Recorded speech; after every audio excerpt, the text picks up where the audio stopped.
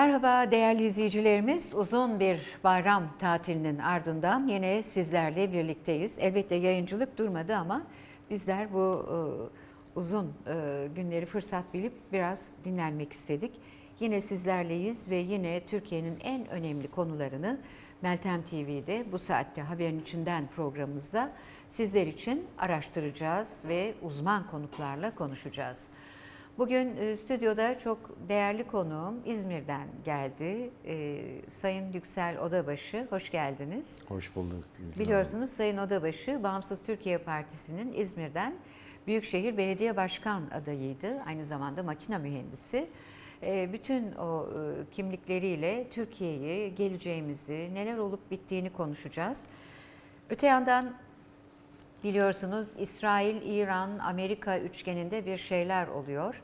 İran e, kendi e, bölgesindeki ülkeleri mi test etti? İsrail Amerika'yı mı test etti? Arkasında durup durmayacağını mı test etti? Bunları da konuşacağız. Profesör Doktor Sayın Hasan Ünal çok kısa zaman içinde bizlerle birlikte olacak ve elbette e, Antalya'daki teleferik faciası ne oldu aslında? İhmal nerede? Ya da kimler bu ihmalin mimarları diyelim? Onu da konuşacağız. Kimle? Türkiye Mimar e, Türkiye Makine Mühendisleri Odası Yönetim Kurulu Başkanı Sayın Yunus Yener bizlerle olacak.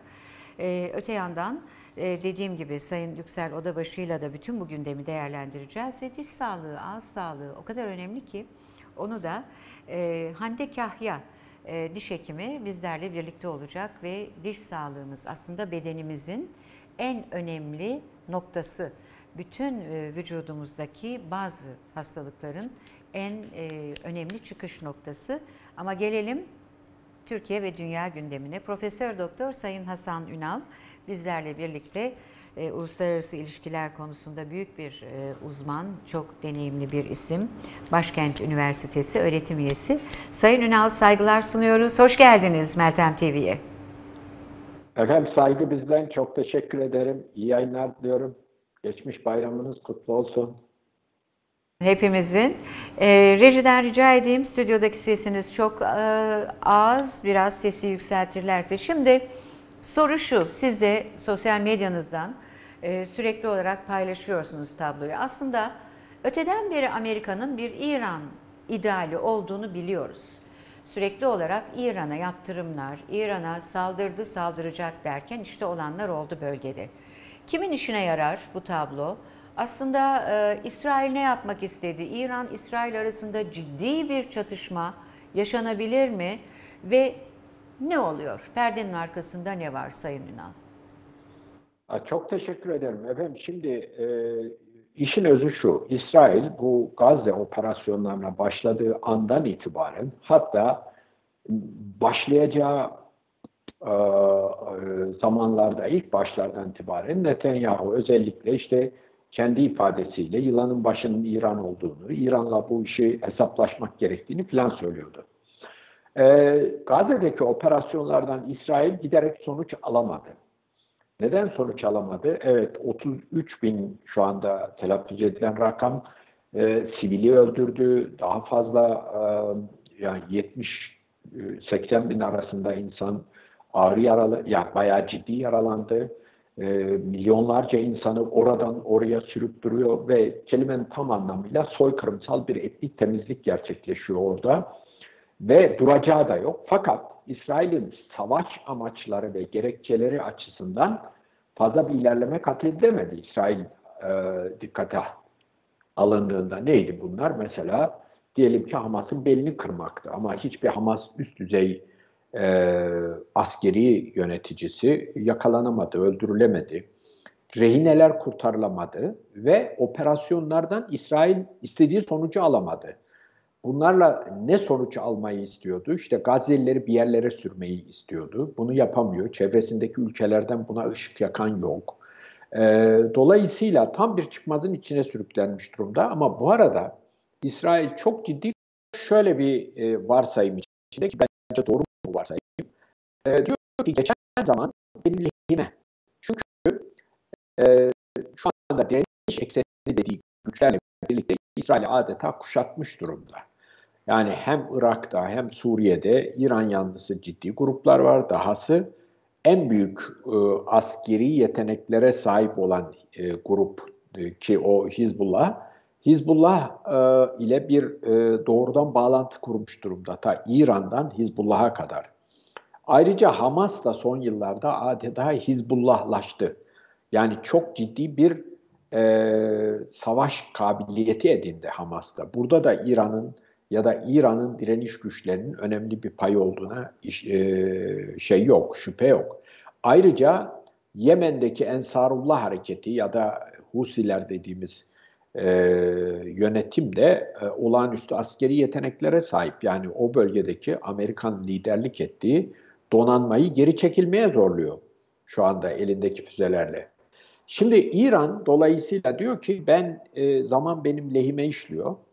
Ayrıca çok kutupluluğa evrilen dünyada Amerika'nın ve müttefiki Avrupalıların gücü azalıyor, azalacak. Göreceli olarak azalıyor, azalacak. En azından Amerika'nın ve Avrupalıların gücü dengeleniyor. Rusya, Çin vesaire bütün bu e, tek kutuplu dünya düzenine itiraz eden devletlerce.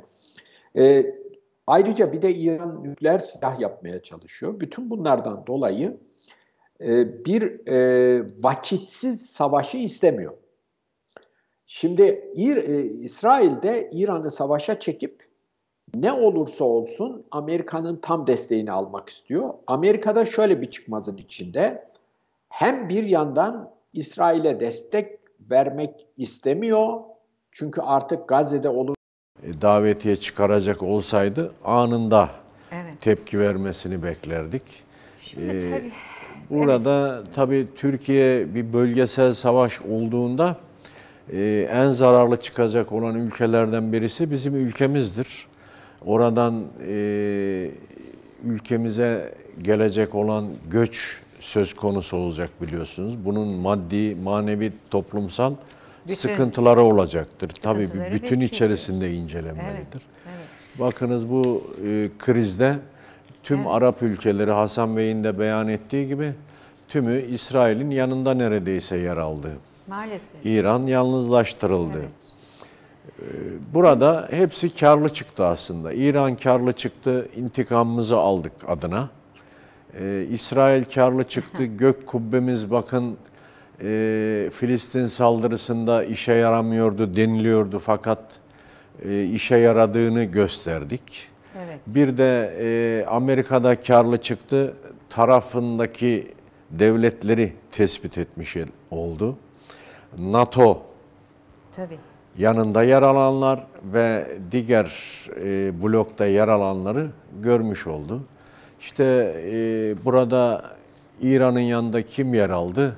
Rusya ve Çin bir miktar bir seslerini yükseltti.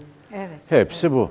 Hepsi bu. Evet. Şimdi aslında gelelim Türkiye'de bu arada NATO'nun yanında tekrar konuşlandığını e, göstermiş oldu. Evet.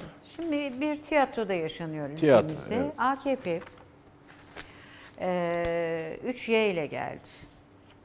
Fakat e, öyle bir tabloya evrildi ki işte çok zengin e, milletvekilleri, büyük şilepler gibi adeta yatlar, har vurulup harman savrulan paralar, kadınların elinde dünya markaları böyle 15, 20, 30, 40 bin dolarlık çantalar vesaire derken AKP'li bir e, milletvekili, gazeteci olduğu iddia edilen, e, aslında gazeteciliği de e, tartışmalı bir e, Şebnem Bursalı'nın Monaco'dan, yat limanından ki çok pahalı bir yer, oradan paylaştığı istakoz görüntüsü geldi. Ee, sonra yine e, AKP'li Hüseyin Filiz Maldivler'de seçim yorgunluğu e, tatili yaptı. Böyle Ama lüks torunları hayatlar, olmadan. Torunları şatafatlı bir şeyler. Biri yok ailemle dedi ama bir iş adamıyla e, görüntüler servis edildi. Gazetecilik doğru gazetecilikte durmuyor. Derken bu tablo içinde çok acı şeyler de yaşanıyor bu ülkede. İşte teleferik kazası. Fakat o e, Şebnem Bursalı adlı e, vekil, AKP'li vekil benim dedi istakoz paylaşımım üzerinden ben aslında midye istemiştim ama istakoz geldi. Dünyanın hiçbir yerinde de domates istediğinizde patates gelmez önünüze. Ki öyle bir yerde. Öyle Mümkün bir değil. yerde. Ee, işte Maldivler'de özel uçaklarla seyahatler vesaireler, şahane Evet. pozlar. Muazzam bir har vurup harman savurma ama şurada 7500 lira, 8000 lira zar zor emekli maaşına zam yapmayan kimseler ve bizim e, vergilerimizden aldıkları paralarla, hak etmedikleri maaşlarla krem de la krem denen lüks hayat yaşayan bu tipler. Evet. Meğer gündem değiştirilmek isteniyormuş hanımefendinin istakozu konuşulurken. E sen servis ettin onu. Evet. Bugün Türkiye'de de istakoz yesen aynı tepkiyi görürsün. Çünkü milletvekilisin. İş adamı bizi ilgilendirmez. Ne diyorsunuz? Ne oluyor bu ülkede? Böyle bu sosyolojik açıdan irdelenmesi gereken bir tablo galiba. Görgüsüzlük aldı başını gidiyor. Ayrı konu. Evet, görgüsüzlük aldı başını gidiyor. Şimdi eee, daha bu AKP'den önceki dönemi döneme bakacak olursak nasıldı Gülgün Hanım? Bu ülkenin zenginleri sayılıydı. 10 parmakla bilemediniz 20 parmakla sayabileceğimiz zenginlerdi. Ki bu zenginler eee, ne tip zenginlerdi? Sanayici, işletmeci, Evet, belli bir evet. vergi ödeyen, e, belli bir istihdam sağlayan, Evet. E, göz önünde olan kişilerdi. Evet, evet. Fakat bu AKP iktidarıyla beraber bilhassa 2006-2007'den sonra bu iyice su yüzüne çıkmaya başladı. Nasıl zenginlerimiz türedi?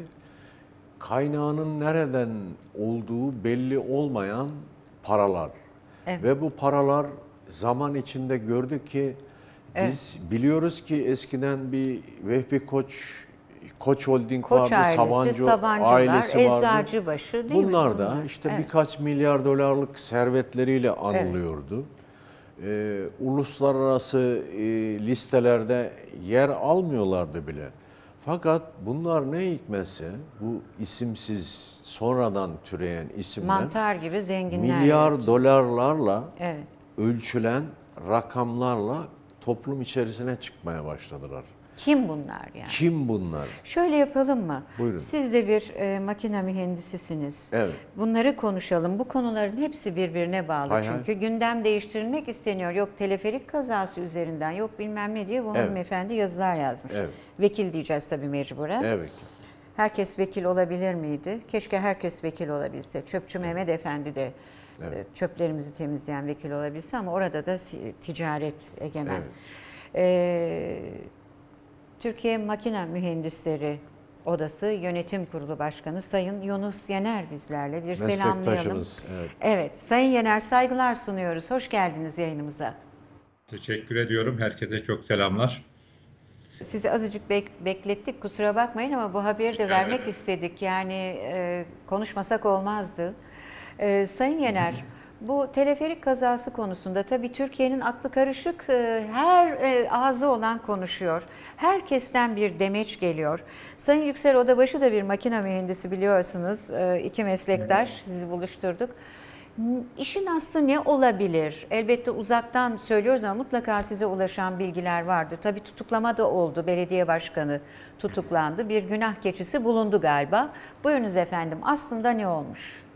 Şimdi şöyle söyleyeyim. Buna ilişkin olarak e, e, daha e, kaza olur olmaz hemen akabinde o akşam Antalya Şube Başkanımız gerekli açıklamayı yaptı. Orada da zaten işin özüne ilişkin şeyleri ifade ettik. Ve ön bilirkişi e, ön raporda çıkmış vaziyette. Bilirkişi ön raporunda çıkan şeyler bizim söylediklerimizin doğruluğunu ifade ediyor. Şimdi şöyle söyleyeyim. İş ekipmanları, teleferik, asansör ve benzeri her türlü ilk ruhsatlandırması, bakımları ve periyodik kontrollerin öneminden sürekli bahsediyoruz biz. Periyodik kontrol mekanizması baştan en son söyleyeceğimi baştan bir daha bir, bir kez daha söyleyeyim. Ee, insanların can ve mal güvenliğini e, ile ilgili olan periyodik muayeneler, bu taşıma e, basınçlı kaplar vesaire ile ilgili bütün bu periyodik muayeneler piyasanın insafına bırakılamayacak kadar önemli hususlardır ve bu işin odaları tarafından belgelendirilmiş uzman mühendisler odaları tarafından eğitilip belgelendirilmiş ve sivri tutulan uzman mühendisler elleriyle yapılması gerekir. Ve makine mühendisleri odası bu anlamda da uzman bu işin ehil insanlar eliyle yapılması anlamından bakaraktan ta 2000 yılı içerisinde başlattığı bir eğitim programı vardır yönetmelikleriyle vesaire şeyleriyle. Ee, bir anlamda Amerika'daki profesyonel mühendisliğin Türkiye versiyonu diyebileceğimiz bir program başlattık o anlamda. Ehil insanlar eliyle, odalarında en önemli görev, yasayla verilmiş görev o odalara ehil insanlar eliyle yapılmasıdır. Şimdi burada bulunan kazayla ilgili olarak e, baktığımızda buna ilişkin olarak TSM 1790 standardı ve buna ilişkin olarak 2009 yılında ruhsatlandırmayla ilişkin olarak bakanlığın e, verdiği tebliğ bize yeterli o anlamda olması gerekenleri ifade ediyor. Nedir bunlar? Ruhsatlandırma aşamasında diyor ki elektrik ve makine mühendisleri odasının yetkilendirdiği onların şeyinde olan insanlar eliyle bu ruhsat yapılmalıdır, e, verilmelidir. Va var olan teleferiye baktığımızda 2016'nın sonunda bize başvurulmuş. Biz birkaç kontrol sonrası eksikliklerde bildirerek ancak Ekim ayı içerisinde son kontrolü yaparak 2017'nin Ekim ayı içerisinde son kontrollerimizi ruhsata esas son kontrollerde yaparak firma 8 ayda tamamlayabilmiş düşünün şeyi eksiklikleri. Kasım ayında da biz ilk ruhsatı vermişiz. Ve bundan sonraki süreçte de bu işin standardında ve buna ilişkin yönergelerde belirtilen EN, İN, TS, İN 1709 standartında belirtilen hususlara uygun olarak bakım ve işletmesinin bu işi bilen uzman insanlar eliyle yapılması gerekiyor. Ve buna ilişkin olarak da bir başka husus var. Biraz önce söylediğim o periyodik muayene yani denetlenmesi üçüncü bir göz tarafından bu işin yapılan işin usulüne uygun olup olmadığını e, olmadığını e, kontrol için bir üçüncü gözün e, bu işi kontrol etmesi gerekiyor, muayene etmesi gerekiyor. Buna da biz periyodik muayene, bazı yerlerde periyodik kontrol olarak geçiyor. Bunun yapılması gerekiyor. Şimdi şeyde sevgili e, İbrahim Atmaca arkadaşımızın basın açıklamasında da belirttiği gibi o tarihten bugüne kadar bize makine mühendisleri odasına periyodik muayene ile alakalı hiçbir başvuru olmamıştır. Ve e, çıkan ön raporda da bilirkişi atanmıştır. O içinde, içinde uzman insanların içinde olduğu bir bilirkişi heyetinde şey, e, şey yapılmıştır. O bilirkişi e, heyetinin ön raporunda da periyodik muayene ile ilgili herhangi bir, bir bilgi bulunmamaktadır. Ve bugüne kadar da bize bu periyodik muayenelerin yapılıp yapılmadığına ilişkin de herhangi bir şey e, bilgi gelmemiştir. Ee, bu üçüncü gözü niye önemsiyoruz? Çünkü orada sonuçta e, bir alışkanlık olabilir. Yani firma e, bakım ve işletme firması hakikaten mükemmel işler yapabilir. Ama o alışkanlıkların getirdiği bir takım eksiklikler söz konusu olabilir. O bir başka gözün görmesi gerekir. Ve can ve mal emniyetinin korunması açısından hele hele teleferik gibi bir anda 175 tane 180 kişiye aynı anda havada asılı bırakacak e, tutan bir sistemdeki herhangi bir arızanın e, e, doğuracağı daha vahim sonuçlar ola, olabilirdi. Ama olan da çok vahim bir husustur. Ben bu anlamda da bir e, ara şey olarak öncelikle kaybettiğimiz cana, e, başsağlığı, yakınlarına başsağlığı, sabır ve metanet diliyorum. Yaralanan vatandaşlarımıza e, da e, acil şifalar diliyorum. Heh, e, şeye geldim. Kontrolün düzgün yap, e, e, periyodik muayene yapılıp yapılmadığı noktasında orada herhangi bir bilgimiz yok. Ve dediğim gibi bu işin hiçbir şekilde piyasanın insafına bırakılamayacak bir iştir. Çünkü daha önce de biliyoruz ki elimizde de belgeler oldu, şikayetlerimiz de oldu başka alanlarda neredeyse kağıt fiyatına, A4 fiyatına kontrol e, belgelerinin e, verildiği şeyleri geldi. Yani hiçbir yere uğramadan burada olup olmadığına ilişkin şey yok. Elimizde hiçbir belge yok ama bu anlamda da bu işin piyasaya ya bir rekabet konutu olacak bir iş değildir muayene işi.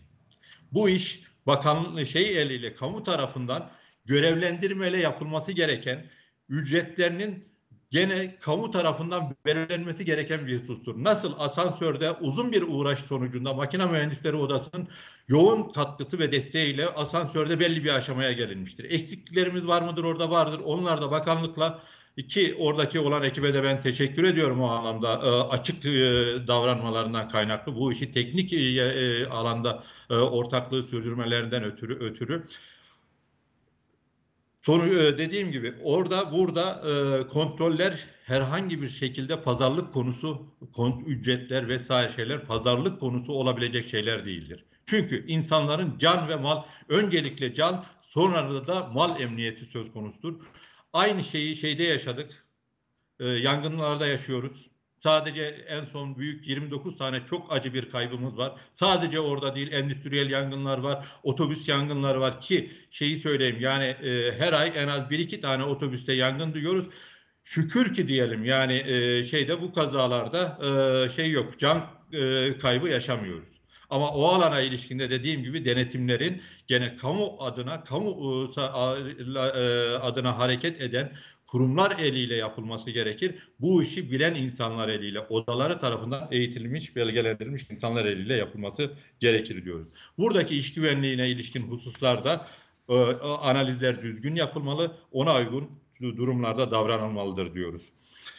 Ben e, ön rapor çıktı. Ön raporda da dediklerimize ilişkin olarak ciddi sıkıntılar var. Yani bakım e, şeyde bakımla ilgili e, ki bakım firmasının e, sahibi ki aynı zamanda e, imalatçısı yani şey e, Mega Tower şirketi e, şey içerisinde ilk başta ortak iken sonrasında da imalatçı olarak e, işi tamamlıyor ve e, bakım ve işletme şeyi de e, Anet fir- belediyeye ait Anet firması tarafından e, bu arkadaşlara la protokol yapılarak e, sözleşme yapılarak bakım ve e, işletme bu insanlara de, eliyle yapılmasına kararlaştırılıyor ve çıkan netice yalnız ön bilirkişi raporuna bakarak yaptığımızda bu işte ciddi eksiklikler olduğunu, bakım ve işletmeyle alakalı ciddi eksiklikler olduğunu e, görüyoruz. Ki EN do- e, 1709'da çok detaylı olarak her bir parçanın nasıl olması gerektiğine ilişkin e, detaylar çok e, detaylı olarak verilmiş. Bu bir minimum seviyedir. Yani standarttaki şey imalatçı firmanın kendi şeyinde ekstra bir takım bakım ve işletmeye ilişkin yönergeler verebilir. Onlar da dahil olmak üzere bu işin işinin e, tekniğine uygun olarak bilen insanlar eliyle, bu işin uzmanı insanlar eliyle, operatöründen teknisyenine, oradaki ba- bakım şeyi, elektrikçisinden e, e, mekanik teknisyenine kadar hepsinin bu işi bilen insanlar, bu işin eğitimini almış, işbaşı eğitimlerinde yapmış insanlar eliyle yapılması gerekir. Böyle bir şey söz konusu olsaydı yani bakımı düzgün yapılmış, bakım ve işletmesi düzgün yapılmış ve periyodik muayenelerde tamam olmuş bir yerde kaza olma ihtimali ve iş güvenliği aynı zamanda iş güvenliğine ilişkin tedbirlerinde alındığı bir yerde e, böyle bir kazanın olma ihtimali çok düşüktür. Teşekkürler Sayın Yener. Ee, ara ara görüşlerinize başvuracağız, sizi rahatsız edeceğiz. Çok çok teşekkür ediyoruz. Çok bilgilendik, saygılar sunuyoruz. Sağ olunuz. Kolay gelsin efendim.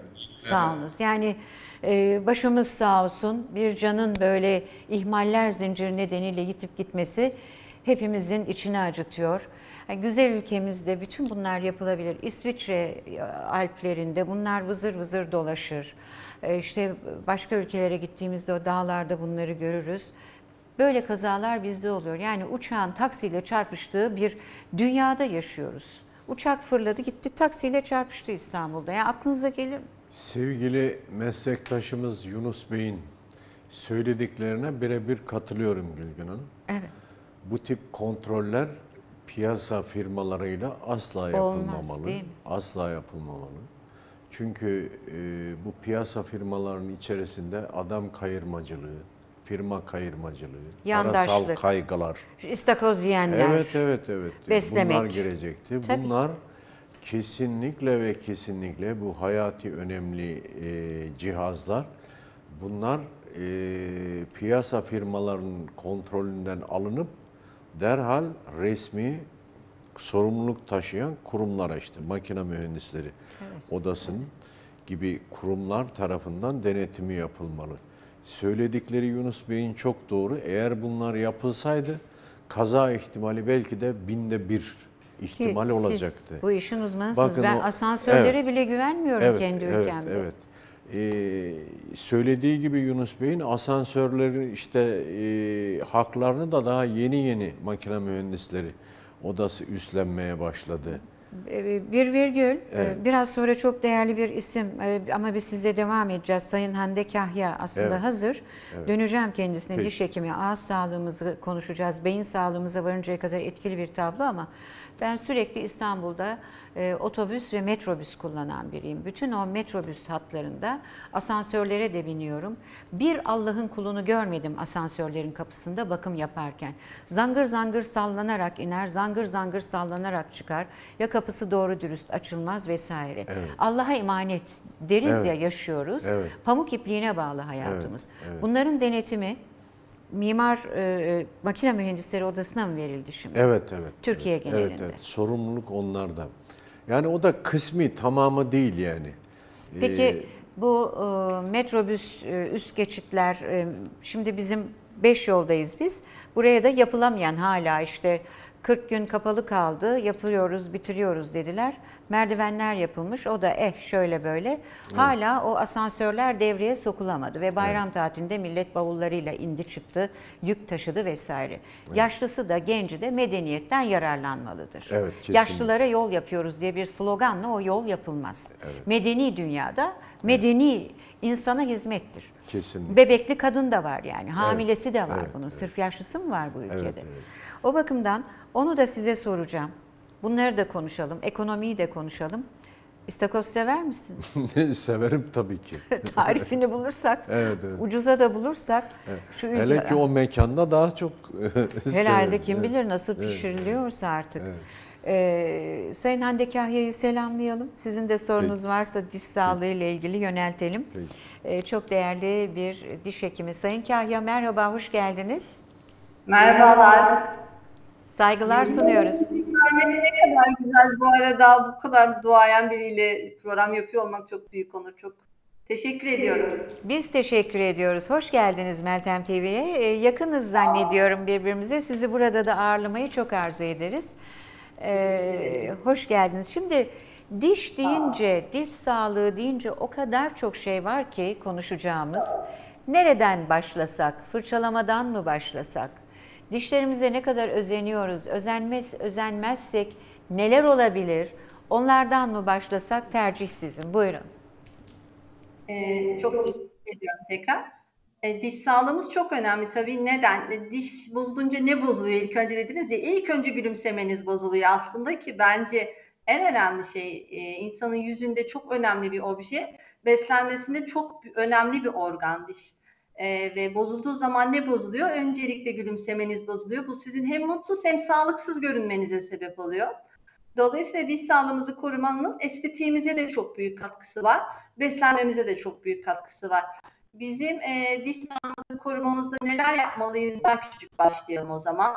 Ki bu önemli bir sürü şeyi hayatımızda kaybetmeyelim. Gülümsememizi kaybetmeyelim. E, çok temel e, aslında herkesin bildiği şey nedir? Dişlerimizi düzenli fırçalıyor olmamız gerekir.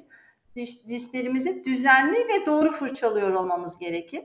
Ortalama 3 dakika süren fırçalamalar yapmak, bunları yumuşak diş fırçalarıyla yapmak ve günde en az 2 kere yapıyor olmak aslında en basic e, diş bakım yöntemidir. Düzenli 6 ay kontrole gitmek diş doktorlarına olmazsa olmazımızdır ama ülkemizde belki çok e, biraz önce anlattığınız bir sürü sebepten dolayı belki ekonomik faktörler, belki ekonomide e, hastalarımızın bütçelerinde buna yer ayıramıyor olması, devletin yeterince desteklemiyor olması e, gibi bir sürü koşullar ya da eğitimin eksikliğinden düzenli diş bakımı kontrolleri yapılamıyor. Gönül ister ki Avrupa'daki gibi herkesin düzenli olarak gidebileceği e, diş hekimleri olsun ve bunlar e, en basit şekilde önlenebiliyor olsun. Bu olsaydı e, uzun yıllar kendi dişlerimizde yaşlanıyor olurduk. Ben sizi duymuyorum. Ha, şimdi duyacaksınız zannediyorum. Bu çok çok e, önemli bir şey. En az 3 dakika diş fırçalamak dediniz. Biz dişlerimizi böyle ta- halı fırçalar gibi fırçalıyoruz. Değil mi? Yukarıdan aşağı olması gerektiğini yakın bir zamanda bir diş hekimine giderek öğrendim. Acil bir durumum söz konusuydu. Doğru fırçalamadan başlayalım ve siz de bu ağız sağlığımızı sizin zamanınız uygun oldukça konuşalım derim. Nasıl fırçalay fırçalayacağız? Diş macunu seçimi önemli mi? E, markalar önemli mi? E, diş fırçası e, şöyle o zaman şuradan başlayalım. Diş macunu seçimi önemli mi? İhtiyacı yönelik diş macunu seçmeniz. Diş etleri kanayan bir hastanın kanama önleyici hassasiyeti olan bir hastanın hassasiyetleri giderici, beyazlatmaya bir tık ihtiyacı olan hastanın beyazlatmayı sağlayıcı macunlar kullanması efektif olarak mümkün. Ee, ama en önemlisi tabii ki en basic, en soft bir macununuz bile olsa e, bunu doğru fırçayla, doğru yöntemle yapıyor olmanız da çok çok faydalı ve yeterli. E, diş hekiminiz zaten size düzenli olarak gittiğinizde hangi macunu size en uygun olduğunu söyleyecektir. Mesela şöyle bir örnek vereyim. E, hassasiyetleriniz çok fazlaysa sizin ısrarla beyazlatıcı macun kullanmanız hassasiyetinizi artırır. Ya da porselen kaplamalar ve implant üstleri kullanıyorsanız sizin ısrarla diş beyazlatıcı bir macun kullanmanız da gereksizdir. Çünkü sizin diş etlerinizi koruyan bir macuna ihtiyacınız vardır. Dolayısıyla aslında tam olarak neye ihtiyacınız olduğunu hekiminiz size yön, e, yönlendirecektir. Fırçalamaya gelince mutlaka dairesel hareketli, elipsoid bir hareket yapıyor olmanız lazım. Bu ne demek? Fırçamızı diş ve diş etimize açılı bir şekilde 45 derece eğimle oturtuyoruz ve dairesel bir hareket yapıyoruz şu şekilde. Böylelikle gıda artıklarını ağız boşluğumuza süpürüyoruz. Bu şekilde de ağzımızdan uzaklaştırıyoruz. Biz sizin de dediğiniz gibi tahta fırçalar gibi yukarı aşağı, sağa sola yöntemlerle fırçalar istek besin artıklarını e, diş eti ceplerimize gömeriz ki bu da diş etlerimizde çekilmeleri ve gereksiz kanama ve hassasiyetlere sebebiyet olabilir. Bizim diş fırçalarken dişlerimizi temizliyor olmak kadar diş eti sağlığımızı da koruyor olmaktır. Birinci vazifemiz diş etlerimizi korumanın temel hareketi de onlara zarar vermeden zarif hareketlerle yumuşak bir diş fırçasıyla dairesel hareket yapmamızdır. Ee, ortalama diyelim ki 3-4 kez çevirdik. Hemen bir fırça boyu, bir fırça boyu, bir fırça boyu. Ortalama 3 dakikamızı alır bu işlem. Sonra mutlaka dil yüzeyimiz, dişlerimizin çiğneyici yüzeyleri ve iç yüzeyleri temizliyor olmamız lazım. Macun miktarımız mercimek boyutunu geçmemelidir. Çok fazla köpürtüyor olmak, öğürme refleksini artıracağı için hastalarımızda genel bir şikayete sebep olur. Ben diş fırçalayamıyorum çünkü çok öğürüyorum. Çünkü çok macun kullanıyorsunuz. Çok köpürtüyorsunuz. Buna hiç gerek yok.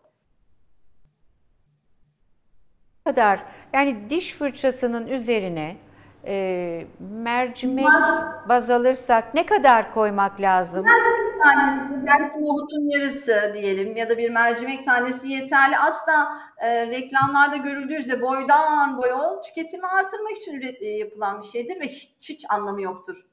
Çok güzel bir bilgi, çok önemli bir bilgi. Bir de çocuklarımız için neye dikkat edelim? Tabii belli bir yaşta süt dişleri gidiyor, yerine doğru dişler geliyor. Ebeveynler ne yapsınlar?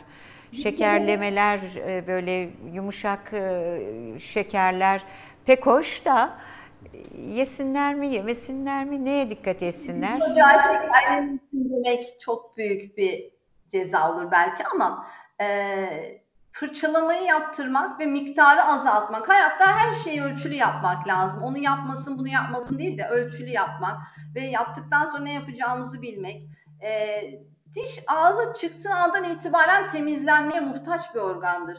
Yani çocuğunuz 6 aylıkken diş çıkardı, siz onu kendi haline bırakamazsınız. 6 aylıkken bir anne e, gaz tamponla çocuğunun dişlerini silmeye başlayabilir karbonatlı suyla. Ya da parmak fırçaları var günümüzde çok güzel annelerin e, parmaklarına takarak kullanabileceği ve yine karbonatlı suya fırçayı batırarak çok güzel bebeğinde bile diş fırçalama yapabilir. Onun dışında e, çocuğumuz 12 yaşına kadar karışık dişlenme dönemindedir. 12 yaşından sonra daimi süt dişi tamamen bitmiş olur. 6 yaş ile 12 yaş arasında çocuğumuzda karışık dişlenme olacağı için bu dönemde yine düzenli fırçalamaya diş hekimi kontrolüne özen göstermeliyiz ki dişlerimiz düzenli değişiyorlar mı? Herhangi bir çapraşıklığa doğru gidiliyor mu? Bir ortodontik tedaviye gereksinim olacak mı? Gibi soruların da cevaplarını aslında diş hekimine gittiğiniz ilk ziyaretlerinizde almaya başlarsınız. Lütfen 0-2 yaş döneminde anneler çocukların fırçalamasını desteklesinler. Belki bir oyun haline getirerek bence anneler bunu yapmalı. Küçük fırçalarla 0-3 yaş fırçalarıyla çocukların dişlerini çocuk macunlarıyla fırçalamalılar. Şekere gelince illa ki şeker yedireceğiz, ne yedireceğiz diyorsak ben e, jelibon tarzı şekerlerin daha az zarar verdiğini küçücük bir bilgi olarak söyleyeyim. Çünkü diş yüzeyine yapışmaz. Ee, diş yüzeyinde kalıcı bir şekilde oraya sıkışıp kalmaz. Onun dışındaki pek çok şeker e, diş yüzeyine de yapıştığı için orada kezzap etkisi yaratıyor. Hemen arkasında bir suyu içirmezseniz hemen fırçalama yapmazsanız uzun süreli temas sağlıyor. Ama jelibon tarzı şekerler bir tık daha e, zararsız. Bir de Şimdilik- Hande Ha. Hanım'a şeyi sormak Buyurun isterdim. Sayın Yüksel Odabaşı stüdyomuzda. Evet, Buyurun. e, selamlar Hande Hanım. Merhaba. Ee, e, şeyi e, diş sağlığının önemi kalple de çok yakın ilintili değil mi? Ee, Hande Hanım. Kesinlikle. E, Ha. Vatandaşlarımızın Diş enfeksiyonları e, çocukluk yaşta da yetişkin yaşta diş enfeksiyonları e, kalp kapakçığına çok çabuk ulaşabildiği için kalp kapakçığı e, değiştirilmiş olan hastalardaki prosedür çok farklı ya da kalp kapakçığımıza zarar vermesinde yapılacak prosedürler çok farklıdır. Diş sağlığınız böbrekleriniz ve kalp, kalbiniz için e, çok önemlidir. Özellikle akut enfeksiyonlar. Sularıyla bunları konuşalım. Çünkü öylesine Yeni boğulu. bir- Siyasetin e, o bulanık suyunda o kadar dolaşıyoruz ki sağlığımızı bile e, öteledik neredeyse. Size sonsuz teşekkürler e, Sayın. Kahya. Görmek çok güzeldi. Ben teşekkür ederim. Duyamadım. Sizi görmek çok güzeldi. Ben teşekkür ederim. E, Ya ben ziyaretinize geleceğim e, ya sizi burada ağırlayacağız. Yüz yüze olacağız. E, Çok sevgiler gönderiyoruz size buradan. Çok çok sorusu da çok önemliydi. Evet bu Yani e, bir akrabamın e, yaşadığı olay olduğu Evet. için vatandaşlarımız bilinçlensin adına konuyu açmak istedim. Çok teşekkür ediyoruz. Çok önemli. Çok e, önemli notlar aldık ama bir e, not e, bu önemli. Kalp kapakçığını, kalbi tehdit Tabii ki, tabii edebiliyor. ki. Ayrıca diş Sağlam fırçanıza kalbinizi Evet, bozuyor. sağlam kalbi bozuyor. Ayrıca diş fırçanıza böyle kocaman kocaman macun Ya, koymayın. evet. Bu bir reklam. Ne e, dedi? Yarım nohut kadar. Yarım nohut kadar, mercimekten biraz büyük, yarım nohut kadar. Aksi takdirde yarar yerine zarar oluyor. Gelelim mi asansörlere? Tamam. Ne olacak bu asansörlerin hali? E, ritmik kontrolleri yapılıyor mu acaba? E, siz tabii konunun uzmanısınız. Şimdi e, şu anki yasaya göre benim bildiğim kadarıyla bir apartmanlarda dahi asansörlerin rutin bakımları yapılma mecburiyeti var. E, bunlar yapılmadığı vakit direkt yönetim suçlu oluyor bir kaza vukuunda. E, benim örneğin Muğla'da kaldığım apartmanda da e, rutin bakımları yapılıyor. Makine mühendisleri odası onaylı etiketleri var onların mavi kırmızı şeklinde zannediyorum. Ee, onlar etiketleniyor ve şu ana kadar hiçbir kaza yaşanmadı, önüne geçildi. Tüm apartmanlarda e, ayrıca Muğla genelinde halk çok duyarlıdır. evet. E, Yasalara halkı, çok evet. uyar. E, 81 ilde Türkiye Cumhuriyeti yasalarına en çok uyan, birebir uyan ildir Muğla. Ne yasa varsa harfiyen uyarlar. E, Daha önceden e, işte böyle piyasa firmalarına yaptırılıyordu Hmm. bu işler. Birçok kaza haberi duyuyorduk. E, yurtlarda e, Evet, kaç yurtlarda can da gitti, genç, görüyorsunuz. gencecik Evet, peş evet. peşe yaşanan Evet. e, asansör Evet, kazalarında. evet. Yine asansör e, kontrolü esnasında da e, işçiler hayatını kaybetti. maalesef. Odamız Başkan e, Yunus Bey'in dediğine aynen katılıyorum. Bunlar piyasa firmalarının ellerinden alınıp derhal mühendisler odasında, makine mühendisleri odasında sıkı denetime tabi tutulmalıdır. Hele ki teleferik gibi olay Ya, ya. çok önemli. Yüzlerce insanı Evet, taşıyor. evet, Bakın evet. birinin e, arızası, yaşanan bu e, talihsizlik e, orada seyir halindeki kaç kişiyi Evet. birden etkiledi. Yani Çok büyük bir facia olabilirdi. Kontrolü yapan kişi bir eleman, bir personel. Sigortalı çalışan bir eleman. O gün belki maddi sıkıntıları vardı, kafası dağınıktı, belki iklimsel bir bunalıma girmişti, atladı, unuttu. Tabii. Ee, bu küçük detaylar değil mi bunlar? Bu bir ekip çalışması evet, evet. olmalı. Burada bir e, yapay zeka seviyesinde denetim yapılması gerekiyor. Evet bu konu Gördüğümüz daha küçücük bir civatanın yol Evet. açtığı sorun. Şimdi tabii belediye başkanı tu- tutuklamalar var. Belediye başkanı da tutuklandı. CHP buradan atağa geçti. Dedi ki bu siyasi bir tavır. Evet. Hatta e, şu anda da e, Kocagöz'ün tutuklanmasına tepki olarak Ali Mahir Başarır Antalya Adliyesi önünde e, seslendiler ve tepki verdiler. E, haberinde e, ayrıntıları görmek isteyenler görebilir. Bu bence de hukuki Hukuksuzluğa değil, son siyasi bir karar. Tutuklanması. Yani ne yapacaktı Sayın Kocagöz? Gidip asansör kendisi mi yapacaktı? Tabii İstanbul Büyükşehir şirkete. Belediye Başkanı Evet. kar yağdığında lokantada diye Yani, e, evet, yaygara evet, evet, koparılmıştı. evet, evet. Ne yapacaktı Evet. Kocagöz? Gidip e, metrelerce yukarıda eline anahtar alıp gidip civataları mı kontrol edecekti? Tabii emir Vermiş, verir. Anlaşmaları gereği bir şirkete e, verilmiş. Şirket e, olayın sorumluluğunu üstlenmiş. Burada e, Sayın Kocagöz'ün suçu ne olabilir, hatası ne olabilir, ihmali ne olabilir onu anlamış değil.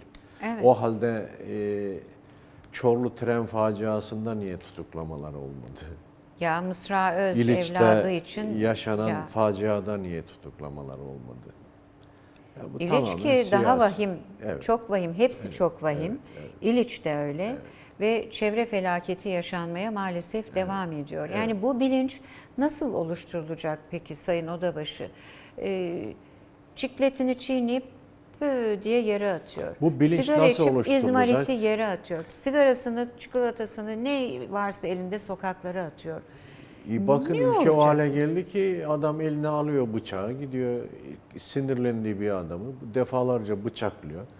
E, Adam şanstan ölmüyor. E, ne yapıyor? İşte kontrol, adli kontrol şartıyla serbest. Yani görüyorsunuz durumları. Yani bu işler nasıl çözülür bu ülkede? İnsanların sorumluluk bilincini taşıyabilmesi için bir kere yasama, yürütme, yargı organlarını birbirinden tamamen koparacaksınız, ayıracaksınız. Bu yetmez. İleri demokratik ülkelerde ilave iki erk daha var. Medya tamamen bağımsız ve hür. Nerede? Bir de sivil toplum örgütleri tamamen bağımsız ve hür. Siz sendikaları sarartırsanız, medyayı e, satın alırsanız, satın alırsanız ya da susturursanız, karşınızda hiçbir muhalef insan dahi istemezseniz bırakın medyayı, e, yasama zaten emrinizde, yargıyı da sindirirseniz geriye bir şey kalmıyor. Kalmıyor maalesef. İyi ki geldiniz Sayın Odabaşı. Çok teşekkür, ederim. ediyoruz. Ben teşekkür ederim Ee, çağırdığınız için. Toplumun mutlaka yeniden e, cumhuriyet ayarlarına dönmesi gerekiyor. Hangi cumhuriyet? Atatürk'ün layık, demokratik, çağdaş cumhuriyetine